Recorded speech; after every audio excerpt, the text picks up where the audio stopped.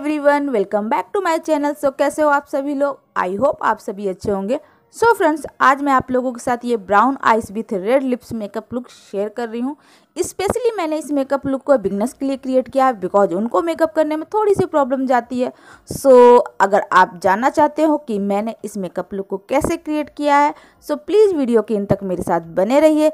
Channel पे new है तो मेक श्योर sure मेरे चैनल को सब्सक्राइब कर लीजिएगा और बेल बटन को हिट कर दीजिएगा। सारे प्रोडक्ट की डिटेल आपको डिस्क्रिप्शन बॉक्स में मिल जाएगी तो आप वहाँ जाके इसको चेक कर सकते हैं। तो चलिए अपने वीडियो को हम स्टार्ट करते हैं।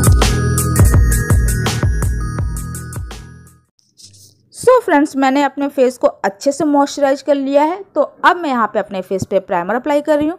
मैंने यहाँ पे एन बाई वे का प्राइमर लिया है और इसे मैं अच्छे से अपने फेस पे अप्लाई कर लूँगी प्राइमर हमारे जो भी ओपन स्पोर होते हैं, उनको ब्लोर आउट कर देता है और हमारे बेस को स्मूथ बना देता है। अगर आपके पास प्राइमर नहीं है तो आप एलोवेरा जेल को भी एज ए प्राइमर की तरह यूज़ कर सकते हो।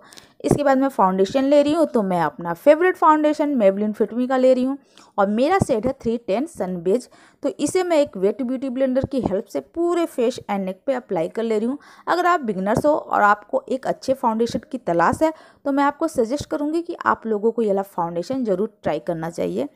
ये ऑयली स्किन वालों के लिए बहुत अच्छा है। ड्राई स्किन वाले भी अप्लाई कर सकते हैं। हाँ स्किन को अच्छे से मॉइस्चराइज कीजिए, देन इसको अच्छे से अप्लाई कर लीजिए। इसके बाद मैं कंसीलर अप्लाई कर रही हूँ तो मैंने कंसीलर भी मेबलिन फिटमी का ही लिया है और इसको मैं अपने हाईलाइटिंग पॉइंट पे अप्लाई कर रही हूँ, जैसे कि अपने आइस के नीचे ब्रिज ऑफ़ नोज़ पे। थोड़ा सा मैं अपने फोरहेड पे लगाऊँगी और कंसीलर को मैं पूरी आईलिड पे भी अप्लाई करूँगी ताकि पूरी आइस का जो लुक है, वो इवन हो जाए। और जब मैं आई शेडो अप्लाई करूँ तो उनके कलर्स अच्छे से पॉपअप होके उभर के आए। तो मैं इसको अच्छे से अप्लाई कर ले रही हूँ और इसको अच्छे से ब्लेंड कर रही हूँ। ब्लेंडिंग के लिए मैंने वही ब्यूटी ब्लेंडर लिया है, जिससे मैंने अपने फाउंडेशन को ब्लेंड किया था।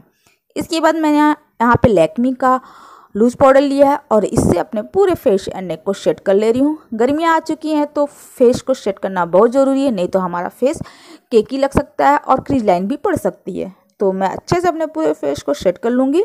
इसके बाद मैंने यहाँ पे एश एफ़ आर का blusher contour and highlighter palette लिया। बहुत छोटू मोटू सा ये पैलेट है और मल्टीपर्पज़ यूज़ के लिए तो इसमें से कंटोरिंग है उसे लेके मैं अपने फेस को थोड़ा सा कंटोर कर रही हूँ।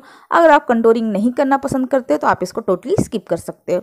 इसके बाद इसी पैलेट से ही जो ब्लशर है, उसे मैं लेके अपने चिक्स पे अच्छे से स्माइल करते हुए अप्लाई कर लूँगी। जो भी एक्स्ट्रा प्रोडक्ट होते हैं ना फ्रेंड उसको डस्ट आउट कीजिए देन उसके बाद अप्लाई कीजिए। डायरेक्ट कोई भी प्रोडक्ट यूज़ ना कीजिए। इसके बाद मैं अपने पूरे बेस को सेट कर रही हूँ तो मैंने यहाँ पे मेकअप सेटिंग स्प्रे लिया है और इससे अपने फेस को सेट कर दूँगी। इसके बाद मैं अपने आईब्रो को फिल कर रही हूँ तो आईब्रो को फिल करने के लिए मैंने यहाँ पे एक ब्राउन जेल आईलाइनर लिया है। आप चाहो तो ब्रो पोमेड या कोई भी ब्रो पेंसिल भी ले सकते हो। इसके बाद इसी तरह से मैं अपने दोनों ब्रो को फिल कर लूँगी। अब आती है आई मेकअप की बारी तो मैंने यहाँ पे एक काजल लिया है और उसको मैं अपने अपर लेसेस पे अप्लाई करूँगी, जैसे कि हम आईलाइनर ड्रॉ करते हैं ना, वैसे मैं इसको अप्लाई कर ले रही हूँ। और इसके बाद एक पेंसिल ब्रश की हेल्प से इसको थोड़ा सा स्मच आउट करूँगी। ज़्यादा नहीं कर रही थोड़ा थोड़ा करते हुए स्मच कर रही हूँ। थोड़ा सा इसको ऊपर थोड़ा सा थिक कर रही हूँ और इसको मैं अच्छे से ब्लेंड कर लूँगी। इसके बाद मैंने यहाँ पे एक ब्राउन आई ले लिया है और इसको एक फ्लफी ब्रश की हेल्प से पूरी आईलेट पे मैं इसको अच्छे से अप्लाई करूँगी। धीरे धीरे अप्लाई कर रही हूँ, एक साथ ज़्यादा कलर नहीं ले रही हूँ और उसी ब्रश को मैं अपने लोअर लेसेस पे भी अच्छे से स्मज आउट कर ले रही हूँ।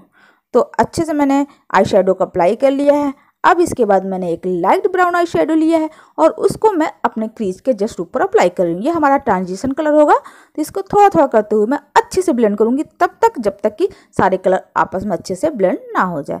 और उसी ब्रश से अपने लोअर लेसेस को भी अच्छे से स्मज आउट कर ले रही हूँ। तो आराम से ब्लेंड करना है। धीरे धीरे करते ब्लेंड कर रही हूँ।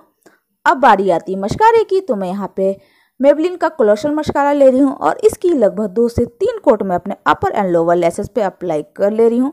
इसके बाद हम फॉल्स आई लैशेज अप्लाई करेंगे। अगर आप फॉल्स आई लैशेज अप्लाई नहीं करना चाहते तो आप तीन से चार कोट अप्लाई कीजिए। तो मैंने यहाँ पे फॉल्स आई लैशेज भी अप्लाई कर लिया और मेरा यहाँ पे आई लुक कंप्लीट है। इसके बाद मैं थोड़ा सा अपने ब्रोबोन को एंड अपने आइस के इनर कोनों को भी हाईलाइट कर रही हूँ ताकि हमारी आइस थोड़ी उभरी हुई और बड़ी नज़र आए। इसके बाद मैं यहाँ पे स्विश ब्यूटी का बेक्ड हाईलाइटर पैलेट है बहुत बहुत बहुत अच्छा पैलेट है फ्रेंड ये।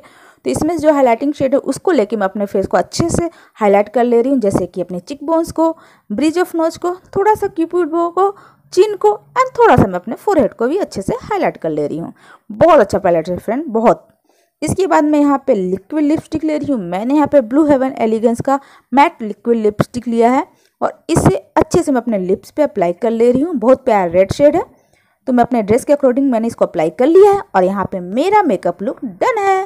So guys this is my final look I hope आप लोगों को ये सिंपल सा इजी पीजी सा मेकअप लुक अच्छा लगा होगा। सो अगर आपको ये मेकअप लुक अच्छा लगा हो तो प्लीज़ वीडियो को लाइक करना ना भूले। अपने फैमिली एंड फ्रेंड्स के साथ आप शेयर भी कर सकते हो।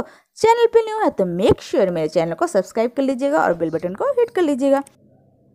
मिलती हूँ मैं आप सबको अपने नेक्स्ट वीडियो में। तब तक के लिए आप सब अपना ख्याल रखिए। तब तक के लिए लव यू बाय बाय